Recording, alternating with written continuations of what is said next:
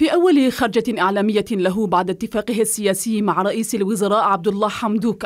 رئيس مجلس السيادة السوداني عبد الفتاح البرهان يكشف عن تفاصيل المشهد السياسي في البلاد بالقول إن عودة رئيس الحكومة إلى منصبه هي بداية تجسيد الفترة الانتقالية فيما أكد عدم رغبته الترشح للرئاسة.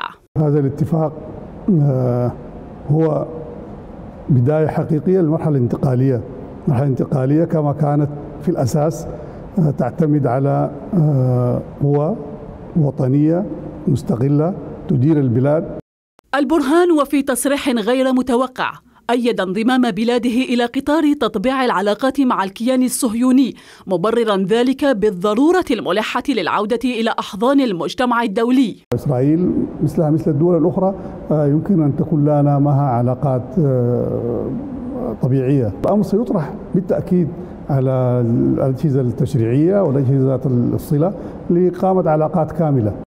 وبالعودة إلى مطالب الشارع السوداني والقوى السياسية برفع حالة الطوارئ التي تشهدها البلاد ربط البرهان المسألة بالحكومة ومجلس الأمن والدفاع في السودان فيما دافع عن المكون العسكري بعد اتهامات طالته بالتورط في الأحداث الدامية التي شهدتها المظاهرات الأخيرة بتأكيده أن أطرافا أرادت استخدام الجيش لتبرير فشلها وأن العمل متواصل مع القضاء لكشف من يقف خلف هذه الجرائم. الدائم وفي تعليق له على الوضع الأمني المعقد في الجاره إثيوبيا نفى البرهان ضلوع بلاده في دعم مقاتلي جبهة تيغراي المتمردة ضد الحكومة مؤكدا أن استرجاع أراضي السودان سيكون بالتفاوض وليس بالحل العسكري.